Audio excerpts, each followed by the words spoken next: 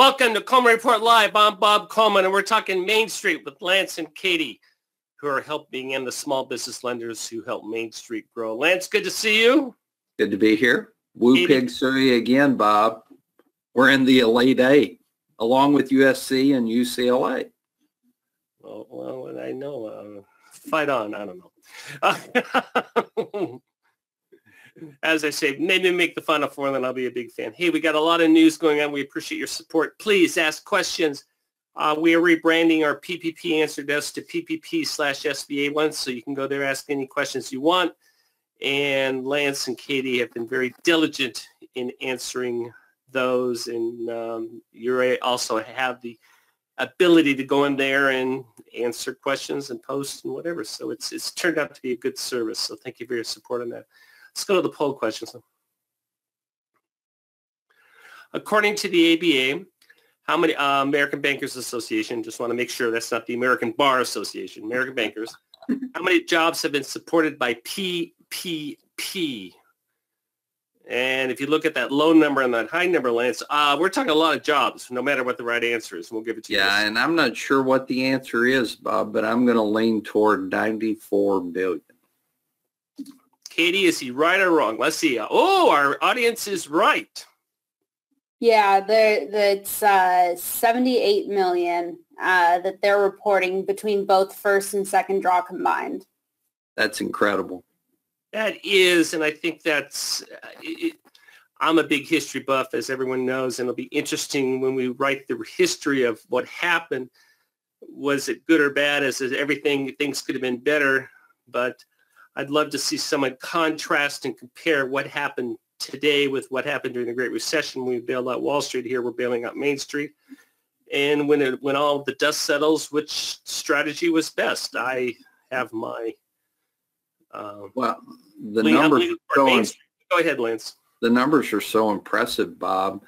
Uh, wonder what percentage of all the jobs that are out there uh, were supported by PPP because the American population, what is it, 350 million? Yeah. And how many pe- how many of those people are employable Americans? Uh, it's got to be pretty close to 30 or 40 percent of everybody who works was supported by PPP, or pretty close.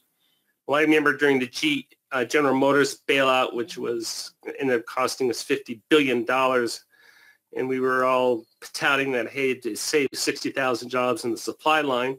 Well, I'm not minimizing those sixty thousand jobs, but you compare sixty thousand with uh, seventy-eight million. That's uh, fairly impressive. Yeah, so it we'll have to crunch numbers and whatever, but I, I think it's also important to take a step back and see where we are. We can complain about fraud. We can complain about everything. But Lance, if we didn't have PPP, we would be in a world of hurt today. We would have unemployment rates that we have Uh, never experienced in our life. Yeah. Very good. Number two, what percentage of small business owners are comfortable with their cash flow today? Bob, I was a small business owner for seven years. I don't know that I was ever I was going to say comfortable. that that's a trick question, but uh, maybe uh, how many of them have their cash uh, needs met? The number's pretty high, higher than I thought. Lance, what do you think it is? Uh, I'm going to guess 50 to 74. Yeah, 62% is the right answer, right, Katie? Yeah, this is uh, coming out of a report that MetLife and U.S. Chamber of Commerce uh, put out about a week ago. Uh, and they're saying that about 62% are feeling at least uh, somewhat comfortable with their cash flow where they are right now. Of course, uh, they would always uh, appreciate more, but they're feeling more comfortable definitely, which is nice to see, especially as the pandemic uh, starts to wind down and things like that you're still seeing people that are comfortable and that's good. Yeah, and 62 thirds, that's, um, of course, that means one third aren't. So um, that's why we have second draw and whatever. Finally, we'll talk about the PPP extension in a second. But how long, and now this, uh, how long do you think it will take to get to pre-pandemic economic conditions?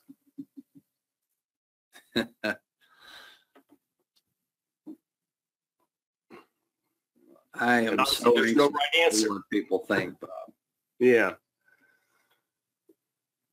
I would have, I, yeah, I probably would have gone over one year myself, but uh, yeah, six Um, months. Go ahead.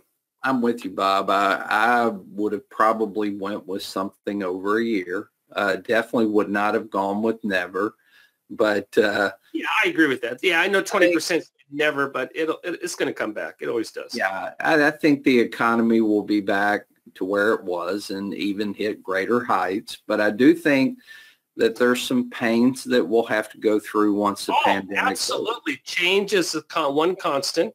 There will be winners and losers. There will be cultural shifts in terms of how we operate as a society. All that is in place, but um, we will we will adapt. We were very we're very adaptable. We'll adapt to the new normal, um, and uh, that's. Uh, I was reading an article the other day about Amazon. Amazon is just buying up all the real estate in Southern California and doing these great logistics and they're committed to two-hour delivery. I mean, that's that's huge.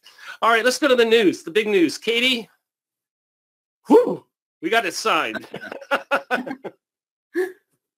Yeah. June- so to, uh, June 30th. That's interesting. yeah. So uh, this hasn't been signed yet as of this Oh, morning, at least when I checked. Right. Uh, but I don't think there's any question that it's going to be uh, signed before the end of the uh, the deadline. I guess the end of the month. Uh, there's no really uh, problem with this. The, this is that bill. It extends it through May for for the borrower to apply, and then uh, the end of May through June 30th, uh, the SBA can process any applications that are still in the system uh, and finish up the program. And they are saying that this sounds like what they want to do is sunset the program at that point. Yeah, what do we what do we mean? The bill excludes budgetary effects. What do we mean by that? Uh, so it didn't include any additional funding for PPP. And there also wasn't uh, any kind of analysis on how it will affect uh, the, the federal budget.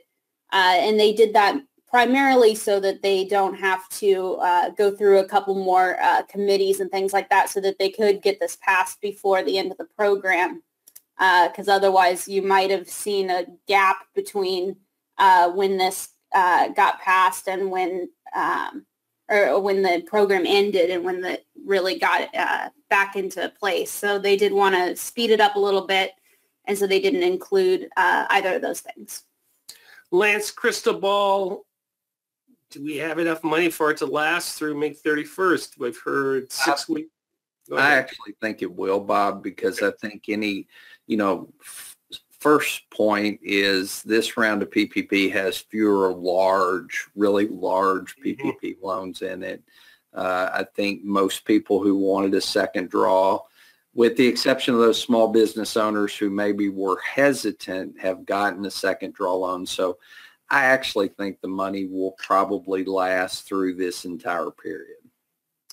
Lance, you're the one who first warned me of supply chain impact. Well, that was over a year ago, talking about your brother in his furniture store not being able to get inventory. Katie, we had a hearing on Friday about that. Yeah, so the House is actually uh, sending a letter to the U.S. Postal uh, uh, Post Office uh, General, and the reason being, uh, I think we can advance to the next slide. Come on, Michael. Uh, Come on. There we yeah, go, there we go. Very good. Yeah. Uh, so the reason being is the 10-year plan that he recently uh, released does not really address the effect it would have on small businesses. And looking at how many small businesses use USPS opposed to things like FedEx or uh, UPS, it is a significant portion. They're saying about 70% of micro businesses, which is uh, defined as businesses with 10 or less employees, use USPS because it's cheaper for them and it's easier for them to use. Uh, and by not addressing that and creating actually a slower process for USPS uh, would deeply impact some of these supply chains for small businesses, uh, not only for receiving things, but also shipping it out. Lance, how's your brother doing with his supply chain? Uh, it started getting better, but it's still slow. And you know, the thing that's impacting small businesses now that we've not really talked about is the price of fuel.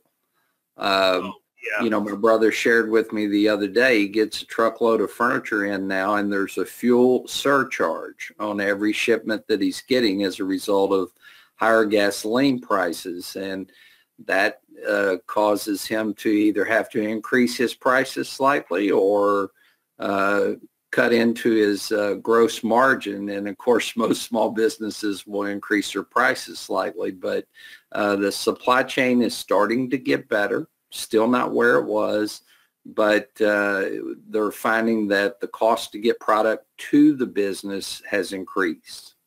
Especially if you're in uh, shipping through the Suez Canal. But hey, I guess they got it open. So.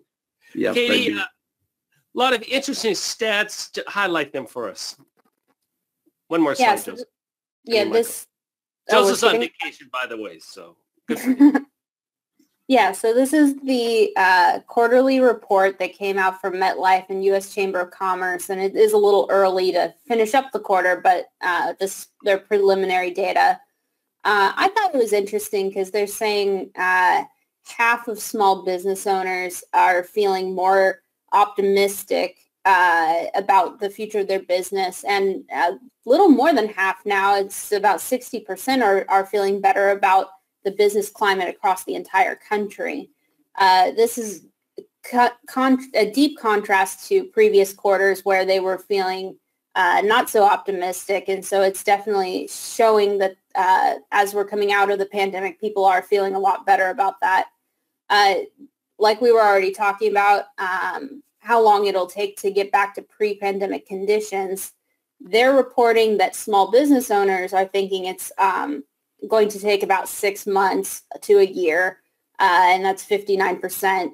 Uh, it was uh, varied, but it seemed like that was definitely the higher portion. I think they have a graph.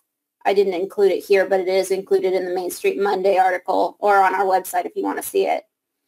45% uh, of small business owners say they can operate indefinitely without shutting down in the current environment. That's raised by about 10% uh, from their last reading. So that is very significant. Uh, and hopefully that will keep going up uh, as we start to pull out of the pandemic. 62% of small business owners say they are comfortable with their cash flow. We already discussed that a little bit. Uh, again, that's going up slightly, uh, but I think that's just reflecting uh, as the year goes on. Uh, 47% anticipate the revenue increasing this year, uh, and just 14% expect it to decrease.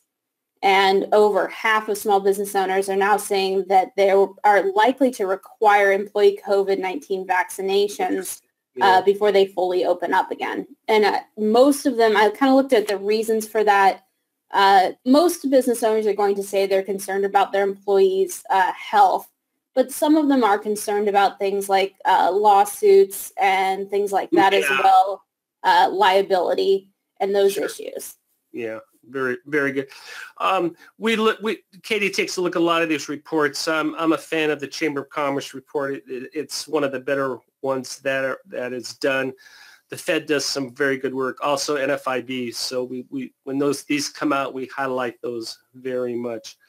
Um, Andrea says, okay, put Lance on the hot seat. Andrea asks, we have a Schedule C PPP app in which the profession list does not match the NAICS code. The applicant said he did that profession seismic research about six years ago, has never been, and has become an insurance agent since then. Well, uh, that's kind of a tough one, Bob, because I, my, I suspect that the SBA's uh, analytics will pick up on the fact that their tax return has a different NAICS code than their application. Now, does it matter? Probably not, because I don't think either NAICS code is going to result in, uh, you know, the amount being different. Uh, I would lean toward using the NAICS code that the tax return has simply because that's the NAICS code of record. Uh, and then they need to correct that uh, NAICS code on their new tax return going forward. But uh, it's is this uh, worth amending? We can go back and amend tax returns. Can we? Amend? I think you could, but I'm not sure there's if it would do any good. You know, I, I, I believe that using the NAICS code that's on the tax return is probably the correct path here, even though it may not reflect what they're doing at this time. But in the scheme of things, it's not going to, it's not a NAICS code 72, so it's not really going to impact the application. But how do we how do we transmit that information to SBA? Uh, do we do anything separately? It's You know, in, in this do we even, or particular, do we wait for them to put it on a hold code and then we deal with it? yeah, in this particular case, you might submit it and wait for the hold code and correct it. Now that we have an extension pass, there'll be time to fix that. Uh, you may also reach out, you know, you guys have heard me say this a number of times to your district office and share with them what the problem is and see what their take is on submission of the PPP application. Uh, they may be in the same boat I am, saying the the NAICS code on the tax return is probably the one that should be reflected. Uh, but uh, it's like I said, a, I, I would reach out to somebody I know. That Bob, if I had this one, I would call my friend Herb Lawrence at the Arkansas district office and say, Herb, here's a problem I have. What do you think I should do? Do me a favor. Don't give his phone number out, please. Everybody will call Herb. you call Lance, who will talk talk to Herb. How's that sound? um, very good. Um, can a person, uh, someone is still concerned about all of the um, defaulted rules, the seven-year rules, student loans, etc. Can they still qualify if they defaulted on a loan? Period. I think it depends on the type of loan. We had some revisions where student loan defaults were not uh, prohibited from getting a PPP loan, but an SBA or USDA loan default will still keep you from getting a PPP. FHA, a house. Yeah, various other, the only type of federal loan that was, I guess, exempted from keeping Still somebody from being eligible is student debt. Very good, very good.